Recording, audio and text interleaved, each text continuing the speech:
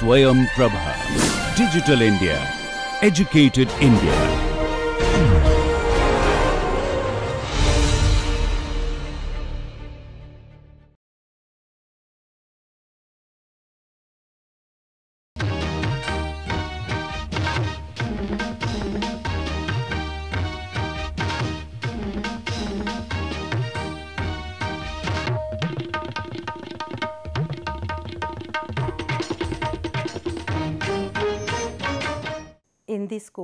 Positive psychology, our next topic is positive emotional states and processes.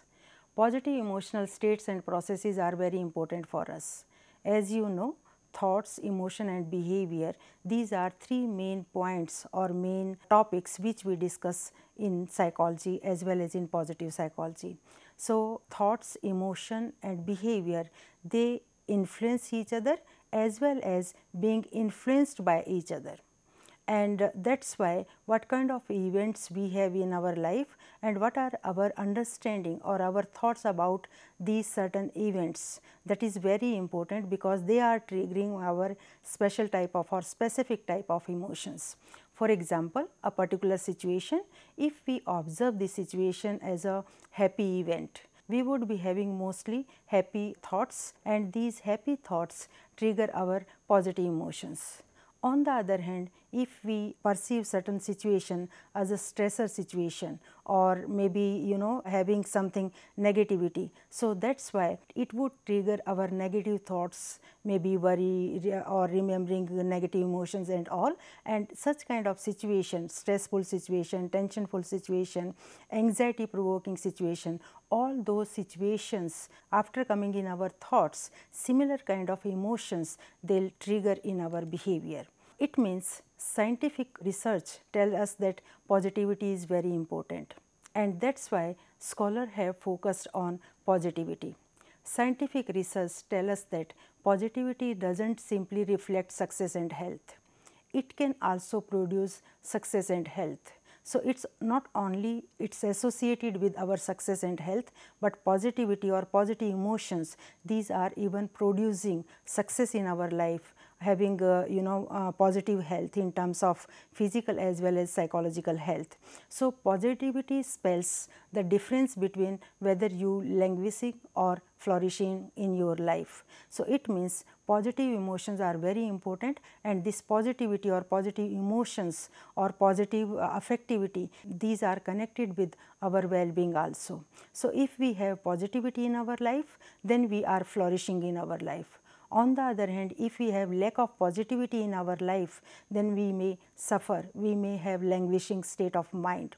So, that is why knowing about emotional states and processes very important and being positive psychology course, here our more focus would be on positive aspects of emotional reactions. Let us understand first emotion. There are various components of emotions. When we talk about different components, these components are cognitions, biology, behavior, social cultural factors etc. When we say cognitive factors or cognition is important to understand emotional reactions, then there is some factors like uh, balance of positive negative emotions that is very important to know to understand emotions, meaningful situations, time, on the other hand, when we talk about biological factors, then uh, biological factors are again very important like neurotransmitters, hormonal changes in our body. So, what kind of chemicals we have in our body it has impact on our emotional reactions. So, that is why biological factors like certain kind of neurotransmitters, hormonal changes as well as genetic factors are very important to understand emotions. Third component is behavior. When we say behavior, it means self-regulation, our character and virtues and other positive or negative personality traits which are very important to understand our emotions. So, these are the behavioral aspects which have certain impact on our emotional reactions. Fourth component is social cultural factors, social norms, social setting, cultural factors. These are also very important to learn emotional reactions because during developmental stages we learn such kind of uh, behaviors and that is why we have cultural differences. So, certain emotional reactions may be more important and may be more highlighted in the particular social settings or socio-cultural settings as compared to other settings. So, that is why culture wise also we try to understand emotional reactions. So, it means consequently our emotions results from a complex interplay of biological, cognitive, behavioral and socio-cultural processes. So, for understanding emotional reactions, cognition, biological, behavioral and socio-cultural components are very important.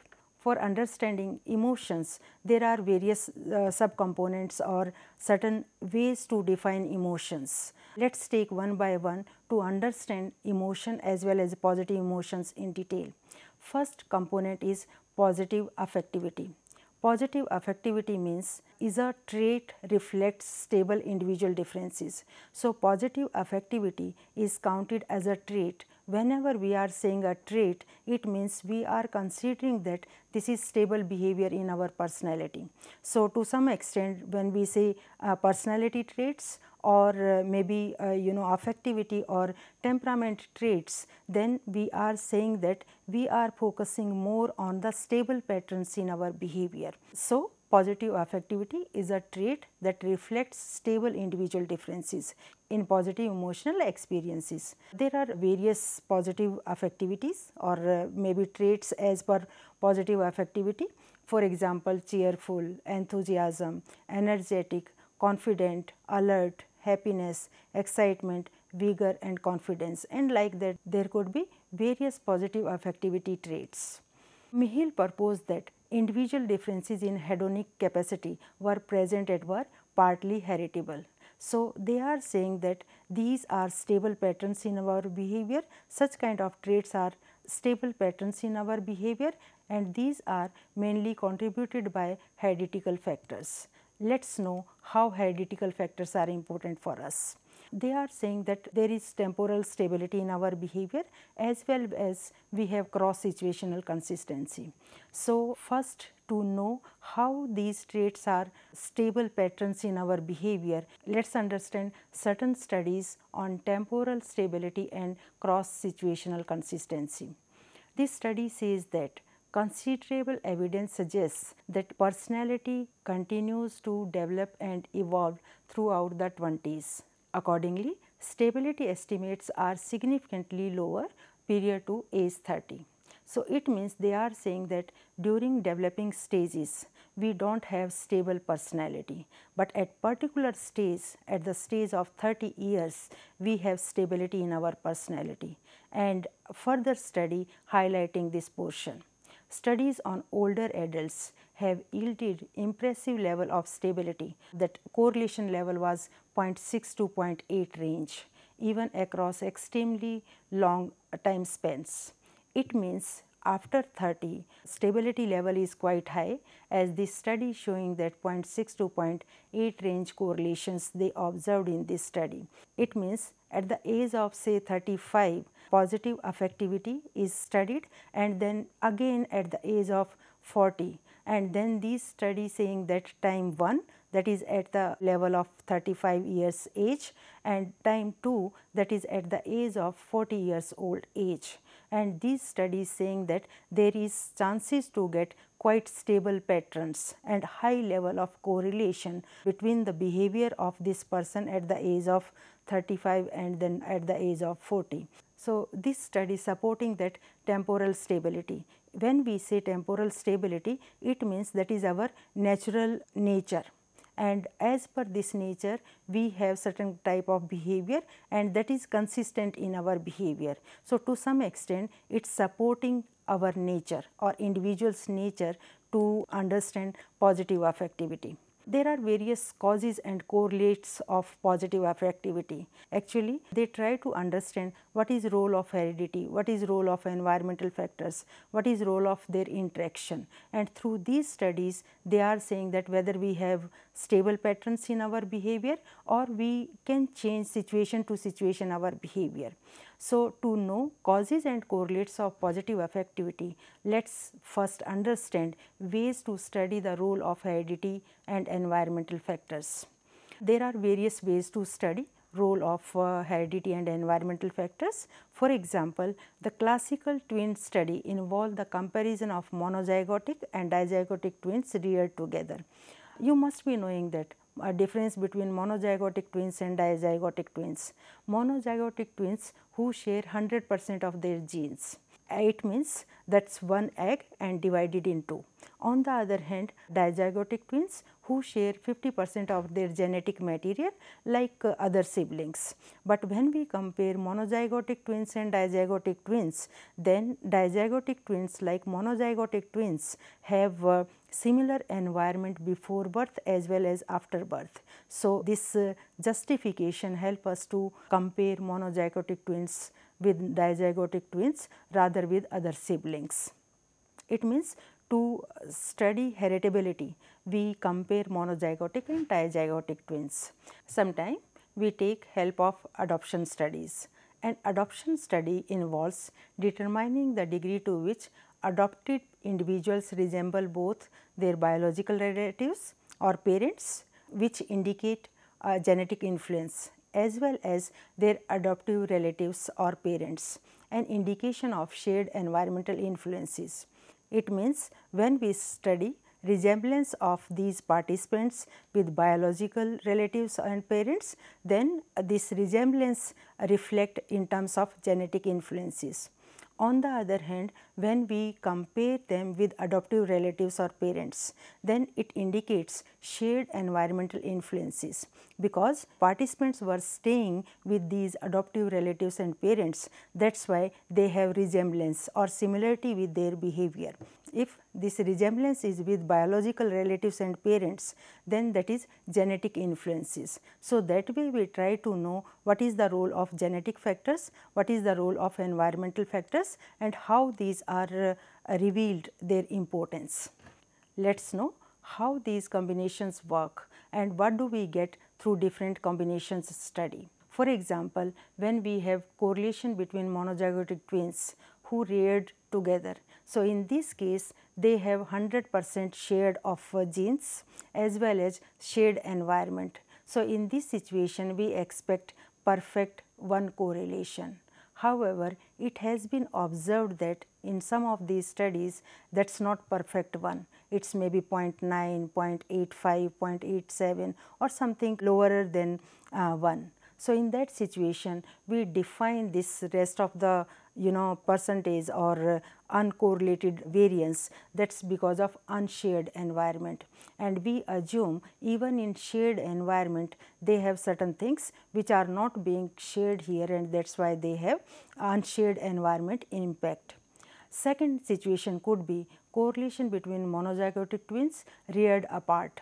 So, in this case they have 100 percent similarity of uh, genetic uh, components, but role of unshared environment is there and that is why we could count you know correlation in terms of uh, genes, but uh, the correlation which we could not get that is because of different environmental factors. Third combination may be correlation between monozygotic twins and dizygotic twins reared together. So, role of genetic factors we could easily reveal because they were staying in the same environment both pairs, but monozygotic twins share their percentage of variance 100 percent and dizygotic twins only 50 percent. So, this change tell us a role of genetic factors.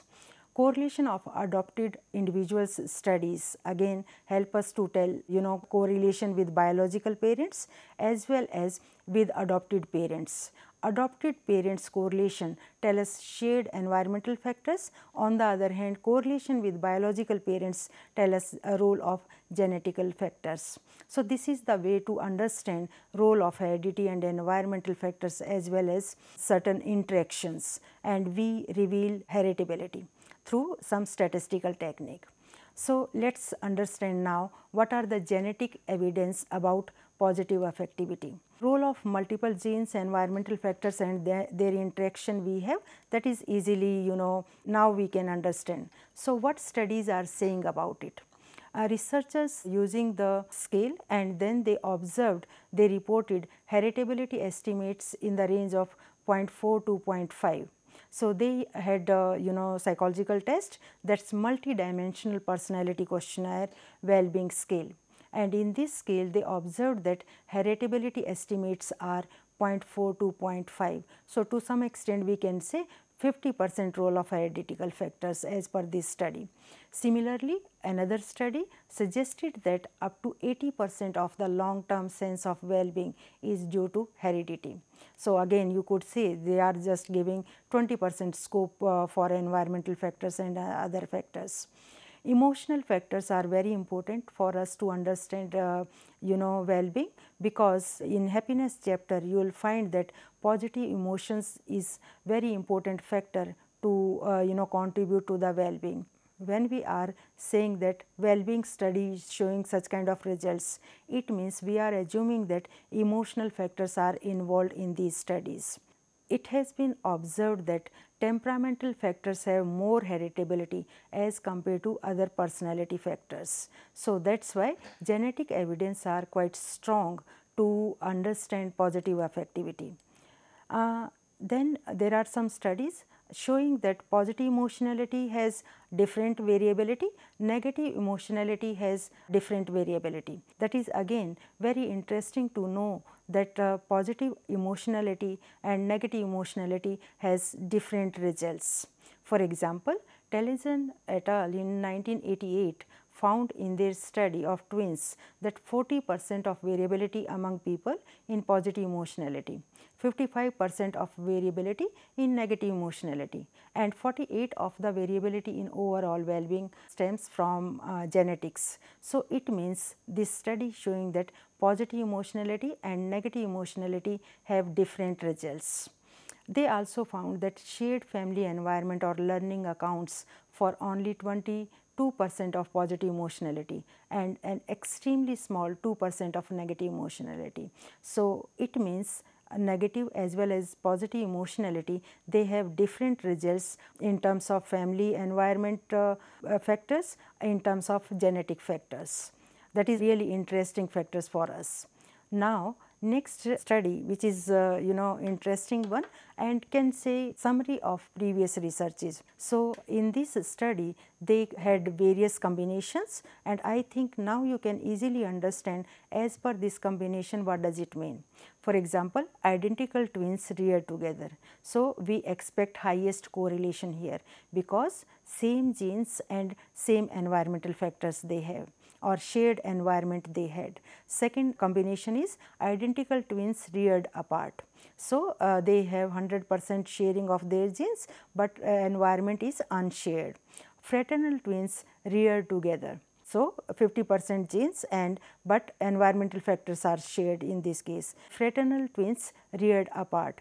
So, 50 percent uh, you know genetic uh, differences as well as they are staying in different environment. So, by considering all such kind of factors then we are talking about what kind of correlations they have and we estimate even heritability.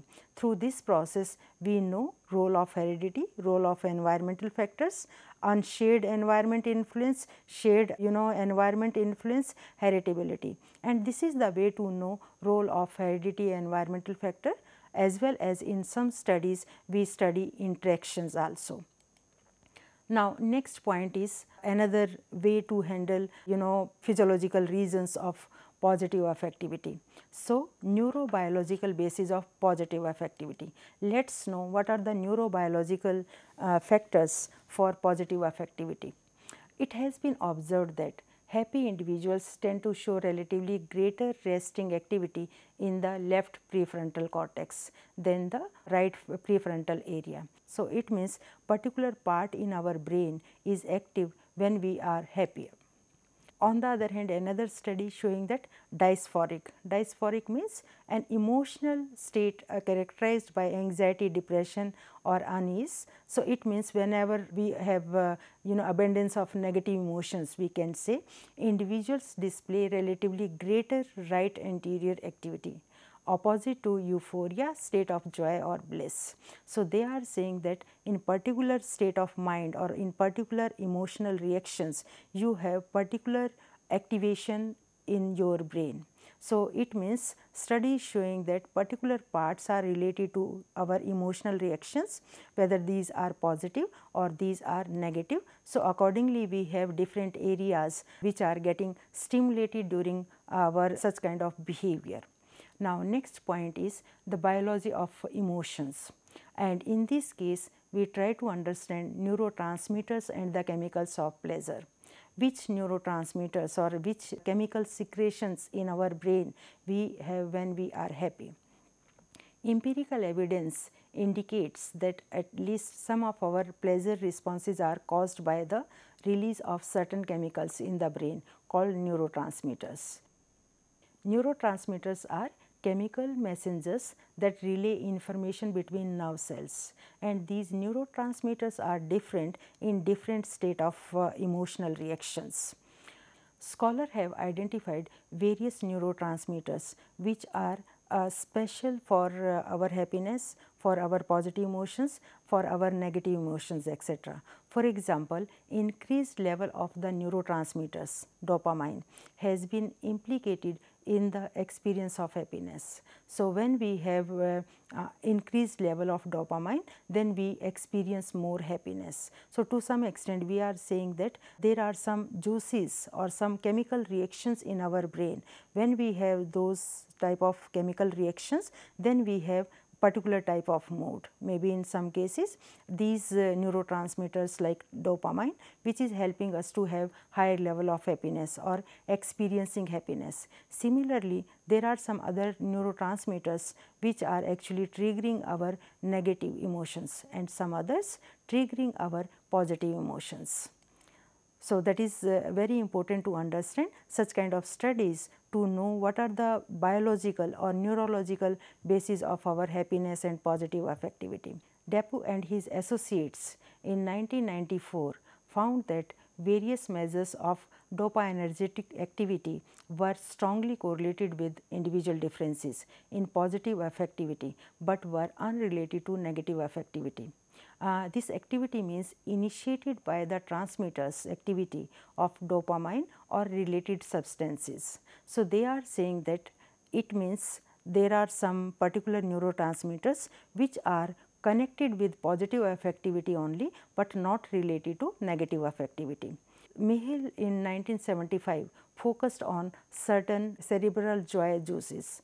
Cerebral joy juices means secretion of some special chemicals or neurotransmitters in our uh, brain and that is why we feel happier as compared to others. Similarly, there are some other studies showing the role of neurotransmitters. In the mid 1970s, a team of researchers discovered that a variety of endomorphins appear to increase pleasure and decrease the experience of pain and this particular neurotransmitters helpful and its you know secretion is very important for us because it act as natural painkillers and this is also helping us to experience pleasure and reduce or decrease the experience of pain. Endorphin level also increase to as much as 200 percent during sexual activities. So, there are certain activities uh, natural activities through which it may be increased. Recently, a considerable amount of attention has been given to the effects of the hormonal oxytocin or the love hormones. So, nowadays scholars are taking interest in hormonal changes as well as in neurotransmitters changes in our body or uh, can say broadly chemical changes in our body and how these chemical changes are triggering our positive or negative affectivity. So, that is main interest of scholars and lots of work is going on in this area. However, does this mean that positive emotions such as joy and love are simply patterns of neurotransmitters and hormonal activity?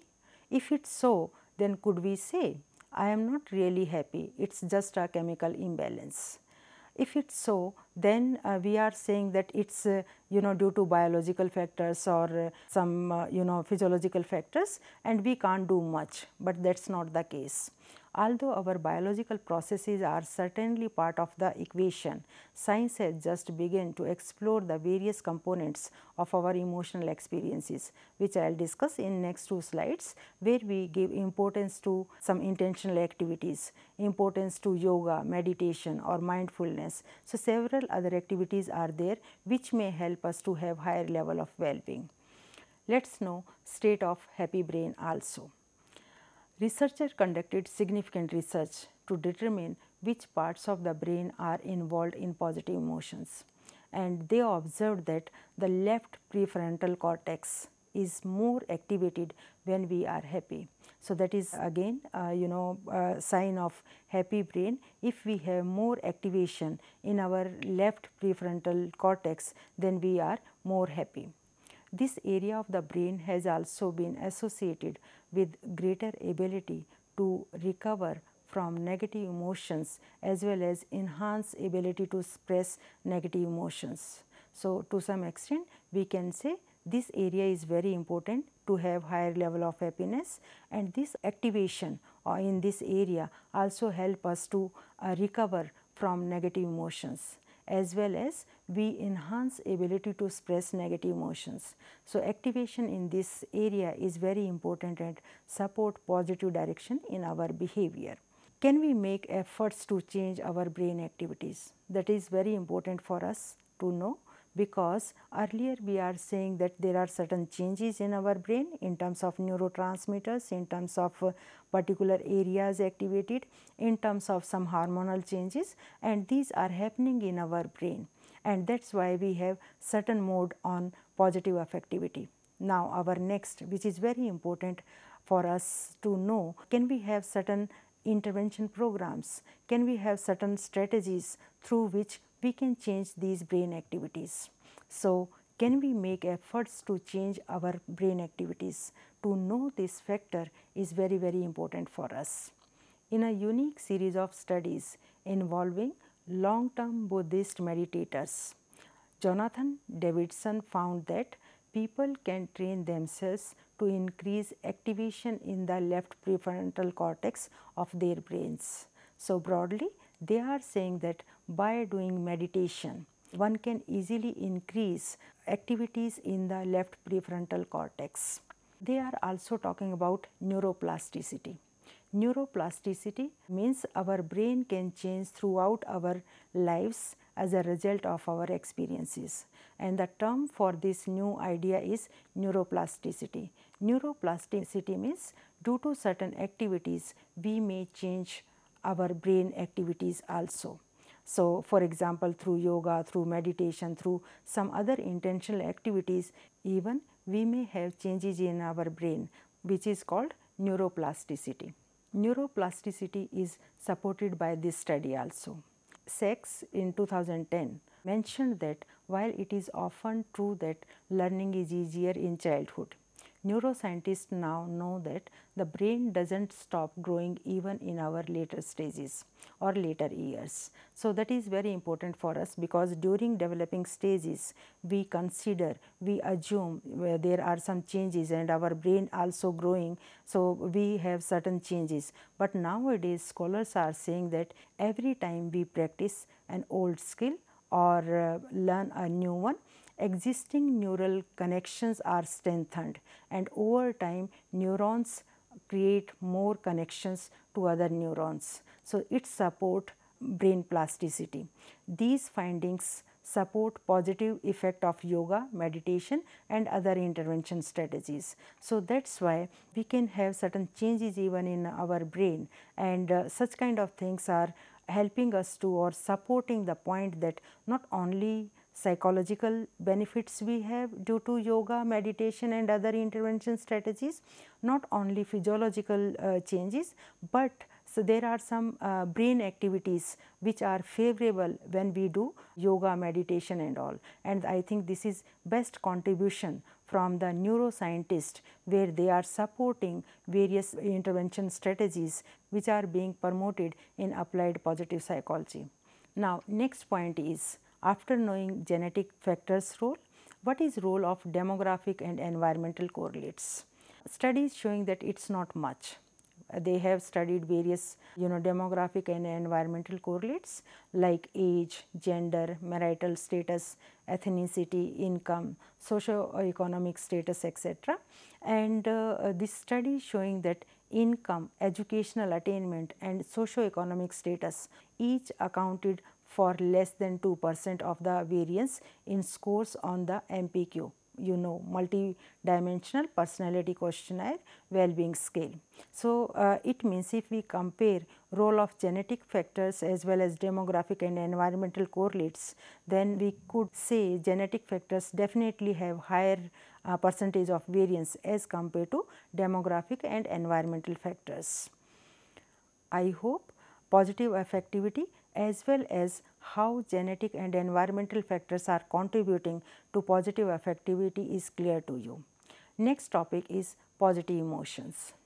In this class being positive psychology course, I am focusing more on positive aspects of emotional component.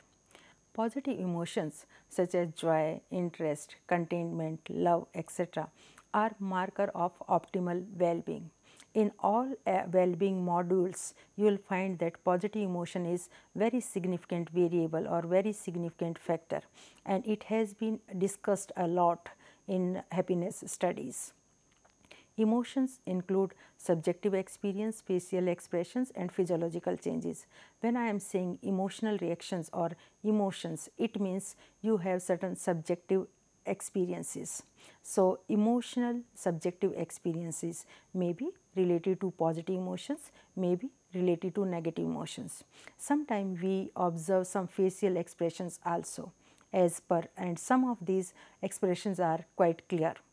On the other hand, some physiological changes also we have as per our emotional reactions and there are various studies in which they have observed that like galvanic skin response, heartbeat, pulse rate and some other physiological indicators also we study when we study emotional reactions. So, emotions include subjective experiences which are our uh, you know personal experiences, facial expressions as well as physiological changes which are captured by various physiological tools and we try to find out what kind of physiological reactions we have as per certain emotional reactions. Now, next point is which is again very important difference between affect and emotions. However, affect and emotions are being uh, used interchangeably in the researches. Still, they are saying that there could be significant difference between affect and emotion. Affect is a person's immediate physiological response to a stimulus and is typically based on underlying sense of arousal that is autonomic arousal level. On the other hand, when we say emotions, these refers to cultural and social expression and uh, in comparison we could say affects focus more on biological and physiological nature. So, this difference could be counted. However, again I am repeating there are various researches where they have uh, used these two terms interchangeably.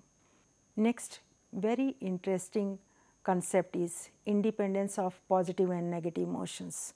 Before showing independence of these two, they are focusing on how do we consider connections or association between positive and negative emotions. Another basic theme in positive psychological concerns the relationship between positive emotional states and well-being which is well established. But what about the connections between positive and negative emotions?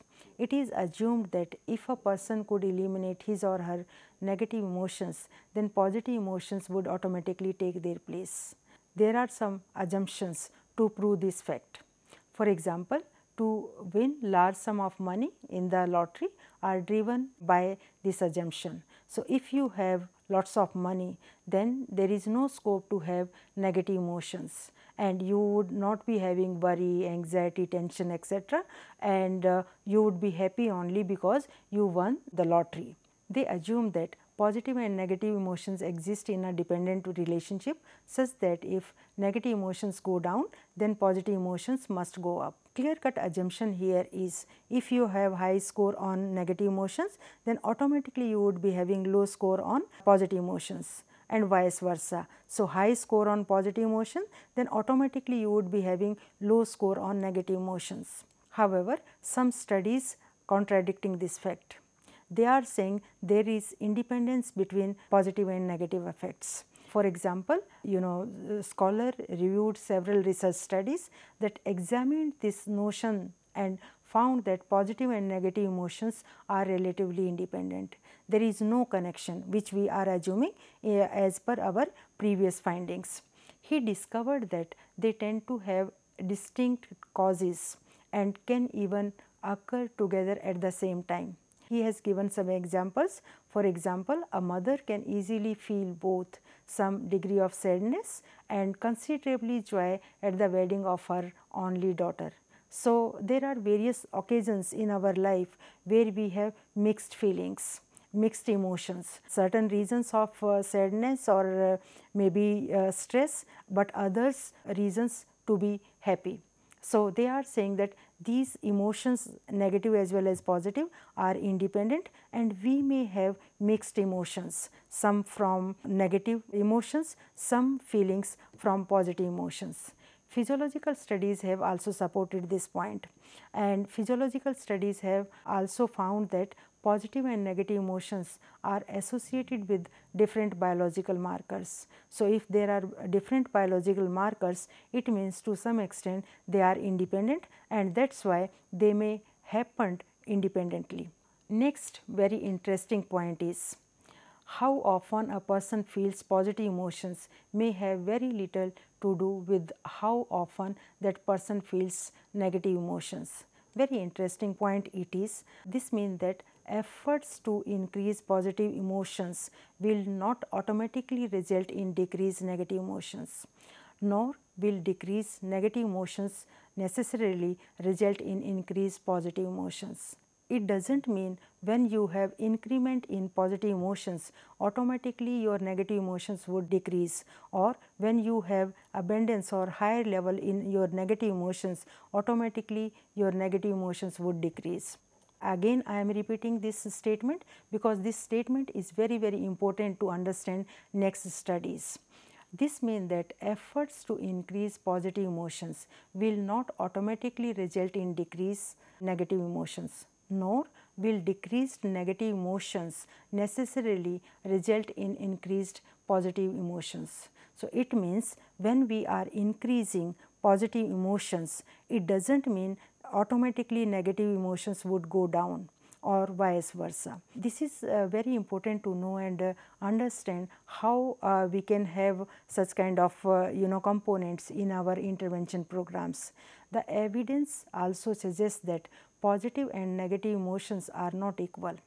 In other words, negative emotions reduce our level of well-being more than positive emotions increased it and this is a ratio which I will discuss in the next points, but before that this evidence saying that positive and negative emotions are not equal.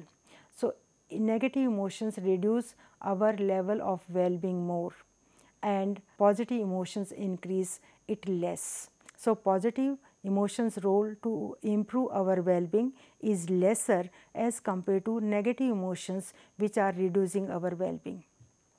This helps to explain why the positivity ratio, the ratio of positive to negative emotions requires for flourishing is 3 to 1. This ratio supporting that at least 3 times positive emotions for uh, flourishing we should have as compared to our negative emotions. So, so, this ratio is we need to have 3 times more positive emotions as compared to negative emotions and uh, this is called Losada ratio. They found that when the mean ratio of positive to negative emotions was at or above 2.9, people tended to flourish in their life. So, 3 times positive emotions we need to have as compared to negative emotions to flourish in our life. That is why abundance or high level on positive emotion is very important for us to have in our flourishing life. There are various type of emotions. Some of them are quite common or can say basic emotions.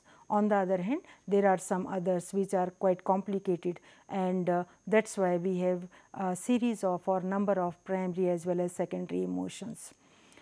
Now, after knowing positive emotions, let us know a theory which is uh, quite famous theory in positive psychology by Barbara and uh, her associates, the broaden and build theory of positive emotions. Uh, through this theory, you will find that how do we have broaden and build style and uh, it's contributing positively to our life. So, how positive emotions uh, you know broaden and build uh, our lifestyle in positive direction that is main point here. It describes positive emotions in terms of broaden thoughts, action repertoires and describe their function in term of building enduring personal resources.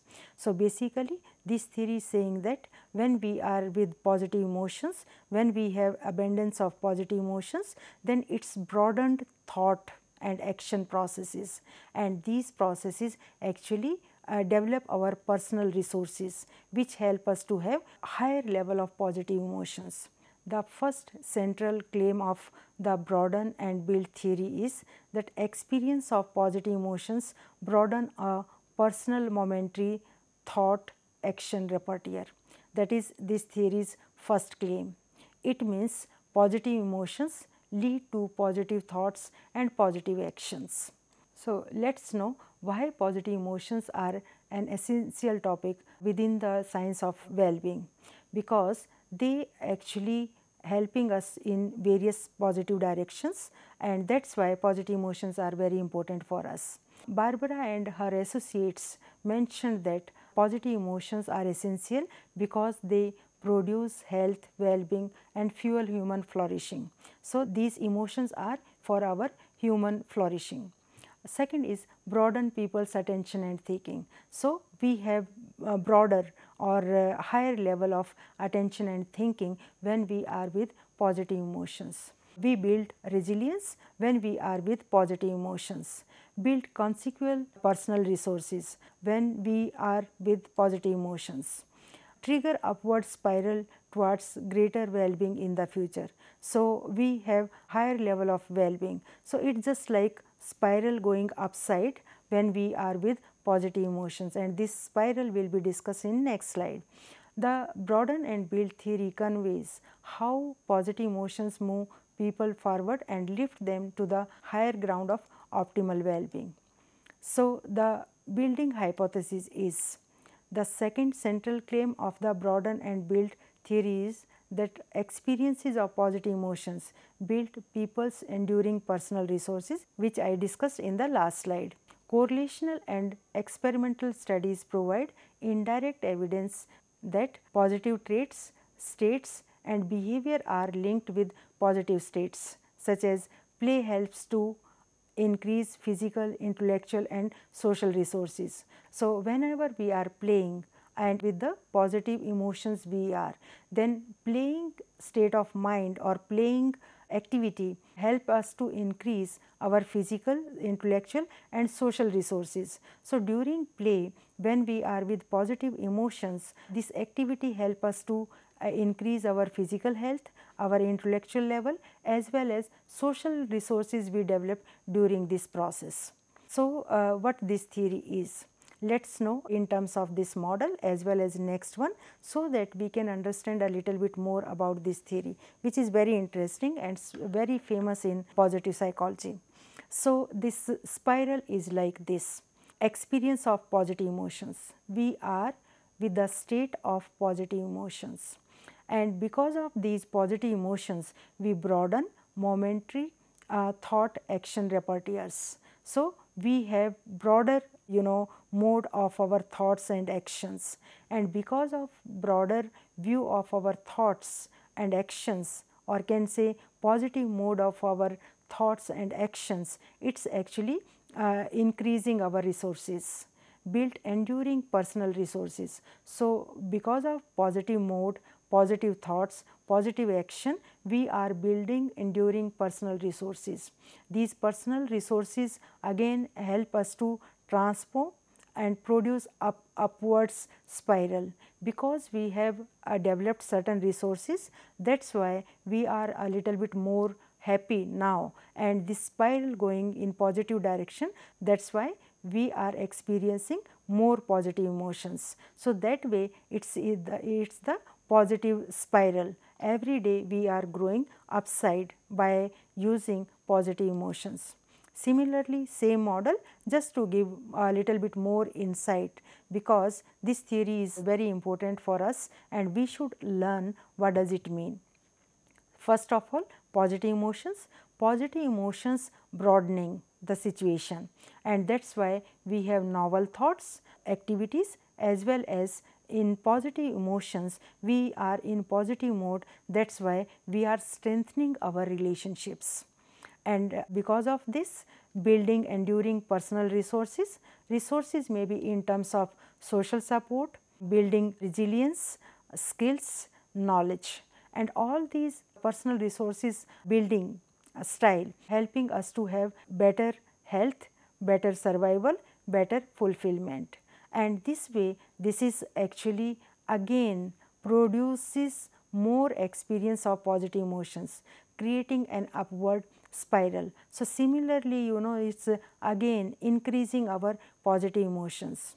Actually this model is just opposite to the model for depression in which we have uh, you know this spiral downside and every day because of depression we are going uh, you know in uh, uh, higher level of depression. And just opposite to this when we are with positive emotions every day we are growing and adding some strengths in our personality and uh, which is helping uh, you know in terms of our health our quality of life happiness and all those things. And that is why because of this happy and healthy mode or uh, abundance of positive emotions we have this is actually increasing our positive emotions and this way it is contributing in positive direction and uh, there are some intervention programs strategies through which they want to develop such kind of positive emotions which are contributing in positive uh, sense or in positive direction in different components of our life. Next topic is culture and emotions because understanding emotions in terms of culture is very important. People from all over the world have the same emotions no matter where they are from. People feel happy, sad, surprised, angry and distinguished. However, the same events do not always bring out the same emotions. So, certain events in different situations, different cultures, different countries, different uh, societies may be observed or may be perceived differently by people. Uh, when we talk about the cultures, broadly we study two basic cultures only, individualistic cultures and collectivistic cultures. Individualistic culture as well as collectivistic cultures responses on emotions are different. For example, it has been observed that people feel comfortable revealing their feeling to others who are close to them and it happens in individualistic cultures like United States and Canada. On the other hand, in collectivistic cultures, it has been observed that disgrace expression of any negative emotions that might upset relationship among people who belong to the in group like in Japan and India. So, it means we do not share negative emotions with our near and dear because we think this person may be you know unhappy to know about this thing. So, we are not interested to make our near and dear unhappy that is why we do not share or express our negative emotions in collectivistic cultures. So, they observed such kind of responses from collectivistic cultures like Japan and India. On the other hand, in individualistic culture, they are saying that they are comfortable to reveal such kind of feelings in their close relations like uh, this data was from United States and Canada. So, uh, we can say how do we share our emotional reactions differ culture to culture and in terms of individualistic versus collectivistic culture these are significant differences. So, it is also observed that participants living in individualistic North African countries more often identify happiness with high arousal positive affect and this high arousal positive affect means excitement, euphoria, enthusiasm. So, they show high volume positive emotions to show happiness. On the other hand, low arousal positive affects in Eastern Asian cultures or in collectivistic culture has been observed like serenity, peacefulness, calmness and uh, this is second difference between you know individualistic cultures versus collectivistic cultures. So, broadly we can say in individualistic cultures people feel happy or identify happiness with high arousal positive affect. High arousal positive affect means excitement, euphoria, enthusiasm showing high volumed positive emotions. On the other hand, in uh, collectivistic Eastern Asian cultures, it has been observed that that's more you know serenity, peacefulness, calmness and feel you know world within or peace and feeling quite calmness. Uh, it supports importance of happiness explanations such as peace of mind, inner harmony, world within in Asian cultures.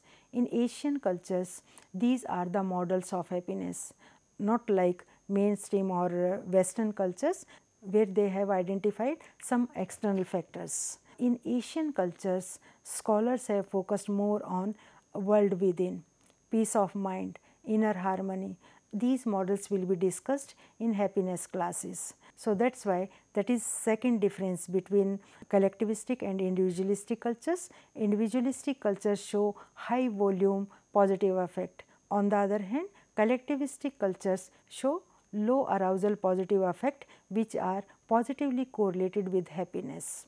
And that is why Asian scholars focus more on peace of mind, inner harmony, world within to understand happiness. Thank you very much. I will keep this topic continue in the next class.